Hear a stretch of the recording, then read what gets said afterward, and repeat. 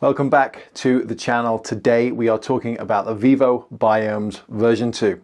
Let's get into it. For anyone that doesn't know what VivoBiome is, it is essentially the future of footwear, scan to print, where there's no waste. Everything is built to order and to be ultimately fully recycled.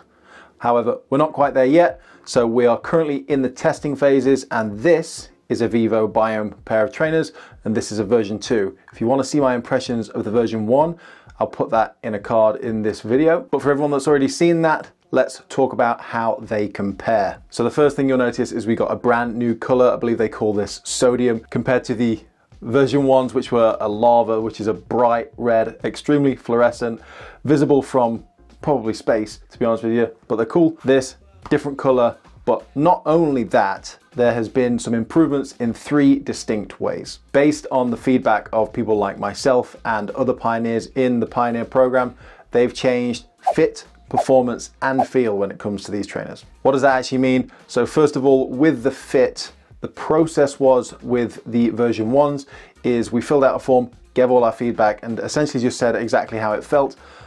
I myself, with the version ones, the fit was actually really close to what I would like them to feel like. So when it came to the feedback on the version 2s, there wasn't too much to change really.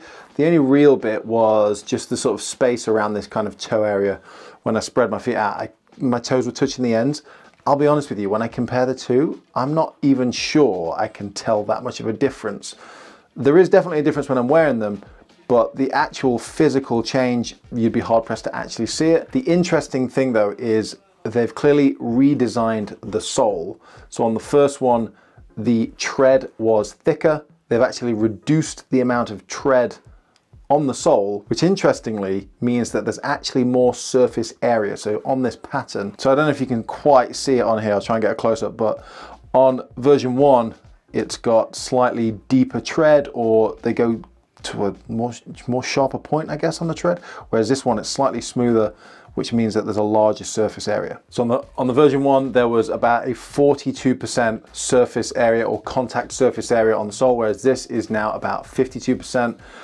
And what that also equates to is more grip in general, but it apparently also displaces more water on a wet surface. And I can definitely vouch for that because I know with the V1s, other people were also giving this feedback, but underfoot, and I, I, thought it was potentially because of like the hard material initially, but definitely underfoot, you could feel like maybe you might be losing a bit of grip or you could be a little bit unstable when you, you're, you're juking around, you're doing some lunges or any anything, any quick movements like that, you might have felt like you were gonna just slip a little bit. Whereas in these, it's definitely not the case. You, you can certainly notice the difference and there is actually definitely more grip on the bottom. Also, in regards to the sole, what they've done is actually reduced the overall thickness. So like I said before on the V1s, they actually felt quite firm almost because they're kind of made of kind of like a plastic material the thicker they are, the stiffer it is. Whereas these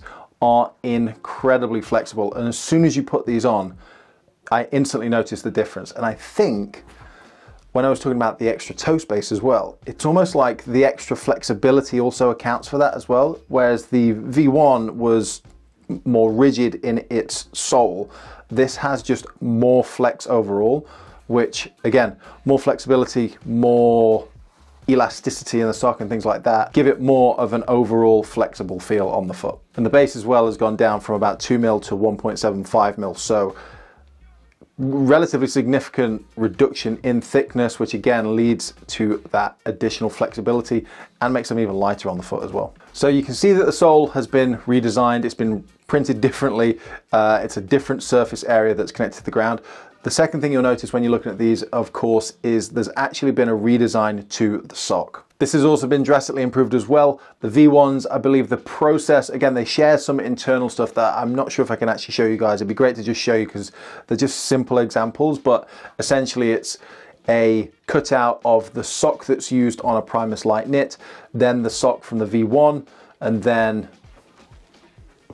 sock from the V1, and then you've got the sock from the V2, with V1, apparently with the manufacturing process, it wasn't possible to onshore it very energy hungry in the manufacturing process. Of course, we're trying to reduce all of that impact. So with this new redesign, in theory, there's less tool manufacturing, there's less or no cutting waste because it's a single sock, single unit sewed together and has got a higher potential for onshoring. So keeping everything as close to home as possible just reduces our carbon footprint, emissions, impact on the environment overall. But apart from the actual manufacturing aspect of it, the bits around the ankles have got that almost Yeezy-like look to them now, but it's a thicker bit on the back here. So when you're pulling these on, you've definitely got a bit more, it, it's really hard to explain on camera as well, but it feels like, so this little rim that you can see around the top is like a soft loop, but within it, which you can also, I'll just noticed that it says biome on there.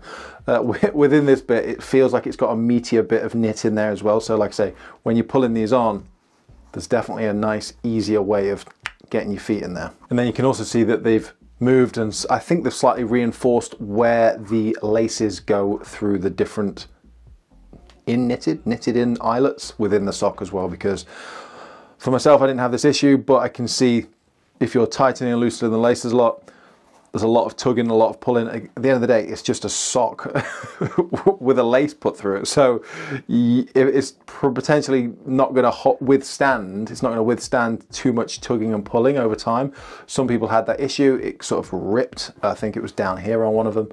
But yeah, so they've redesigned that, they've reinforced it. Again, they're taking on all our feedback. There's loads of guys, there's, there's, up to about 200 people taking part in this. Everyone's getting their pairs of these. They're giving feedback, they're putting them through their paces, and Vivo are iterating on these fast. Another issue that was discovered, not one from me, but from others, is some people where this eyelet here presses on the inside of your bone, inside of your bone, doesn't make any sense, inside of your ankle, on a bone where it was really pressing a lot. I know it was the same on the V1 actually.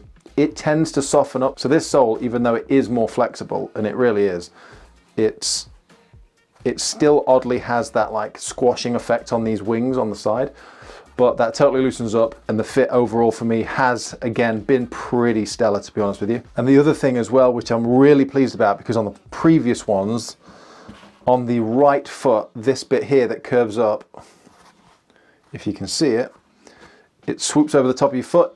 On the previous one, it was quite stiff and pressed into the top of my foot. This time around, their print seems to have been more consistent between the two shoes.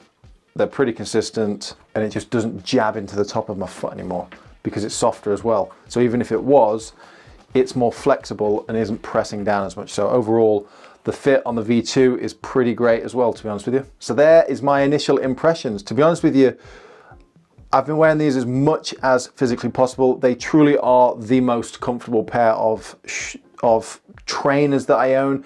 Dare I say it, they're more comfortable than the Primus Lite knits, more comfortable than these just because they've got that added width that is more focused on my foot shape. So these, while great, I don't know if you can tell, so you can tell though that the Primus Lite knit is just, try and focus on here. So you can tell that the knit is just a little bit narrower. Still a great shoe though, so if you've not got yourself a pair of these, definitely get a pair. Links in descriptions. But if you want to stay up to date with the latest that is happening with all things VivoBiome, if you want to check out what VivoBiome even is, there will be links in the description just to take you over to their website so you can just see a bit more about that. If you want to stay up to date with everything that is happening with my trial of these pairs. Make sure you hit subscribe because I will be getting a version 3 at some point in the near future, which I'm super excited about seeing what might change in the next models. It honestly is, for me personally anyway, I'm thoroughly enjoying having the insights into what, not just a manufacturing process, but an innovation process, seeing the iterations, seeing the changes, seeing the feedback that everyone else is having. So subscribe so you don't miss my updates. Check out other people that are testing these out. And one final thing before we go, don't forget, if you've not bought a pair of Vivo Barefoot shoes before and you're interested, there will be a referral code in the description for 15% off your first order. And for everyone else, there should be a Pioneer 10 code that should give you 10% off any pair in the shop. So on that note, I'll see you all in the next one.